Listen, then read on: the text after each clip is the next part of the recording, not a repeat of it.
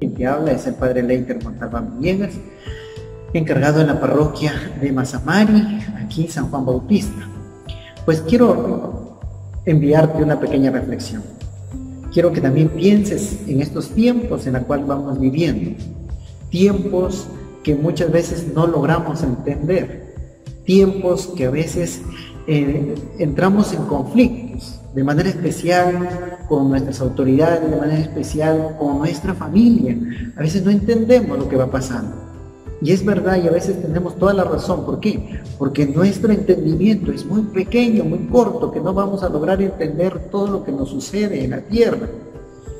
Para que veas que tan precioso es el tiempo, tan preciosos son los años, que tienes que aprenderlos a aprovechar.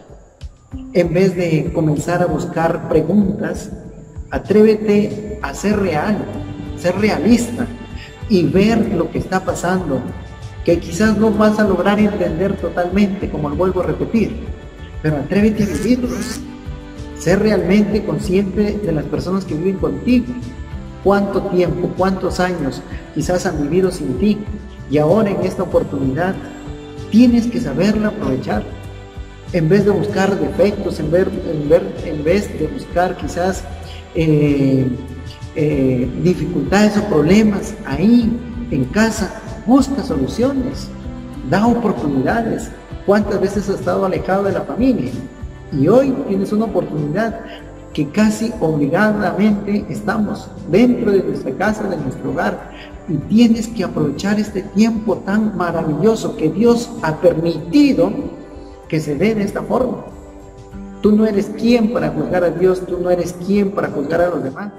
Como vemos también en el texto del día de Lucas, donde, donde va el publicano y el fariseo acercándose a Jesús y, a Dios. Y hay dos formas, dos actitudes de acercarse a Jesús. Uno que va todo orgulloso, ponderando lo que es, lo que hace, la apariencia. En cambio otro va siendo realista de lo que es ser humano, que ha fallado, que ha fracasado, que ha caído, pero se arrepiente y no tiene ni siquiera la, la, firmeza de mirar a Dios cara a cara, sino más bien que va con cabeza gacha pidiéndole a Dios perdón. Y es una oportunidad. Tenemos dos actitudes. Frente a esta, a esta realidad que vamos pasando, tienes dos actitudes una actitud de seguir ponderando lo que eres, sacando títulos, honores que quizás tienes y has pasado y que has logrado durante tu vida, o una actitud humilde, una actitud de misericordia, una actitud de ser humano, de poder aceptar a tu familia, a tus hermanos, a tus hijos, a tus padres como son, no pensando un ideal, sino más bien lo que es realmente. Y también tengo un texto bíblico, queridos hermanos, para que podamos meditar y pensar en estos momentos, que es en Isaías 40, 31, le dice el Señor, pero los que confían en el Señor renovarán sus fuerzas, volarán como las águilas, correrán y no se fatigarán, caminarán y no se cansarán. Imagínate qué mensaje te da el Señor. Dice, aprovecha ahora que es verdad que ahora nuestra libertad puede estar reducida a un ambiente de casa, pero es solamente un ambiente de casa. Son paredes, que no es eterno esa, esa, privación, pero no quiere decir que ya no eres libre, que ya no eres feliz. Atrévete a ser feliz, atrévete a ir más allá de esos, de esos muros, de esas paredes que, que no te dejan ser libre ahora. Pero también por un bien, ¿Por qué no eres, no te dejan salir a la calle?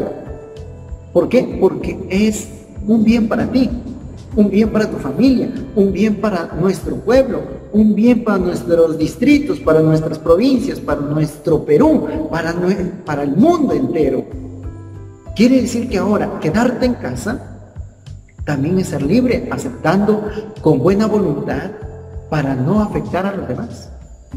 Así que queridos hermanos, dice el Señor aquí en este texto de Isaías donde te dice en esta noche, dice, pero los que confían en el Señor renovarán sus fuerzas cada día.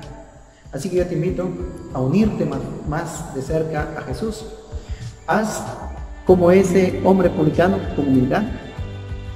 Ve, acércate a Dios si has fallado y dile, perdóname, he fallado contra Dios, contra mi familia, contra mis padres, contra mis parientes. Y atrévete a acercarte más.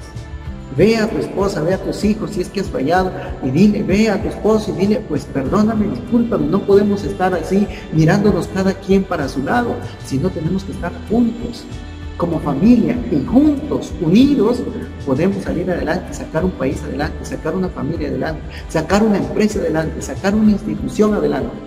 Así que mis queridos hermanos, los que creen en Cristo, los que creen en Dios, tendrán nuevas fuerzas para seguir luchando.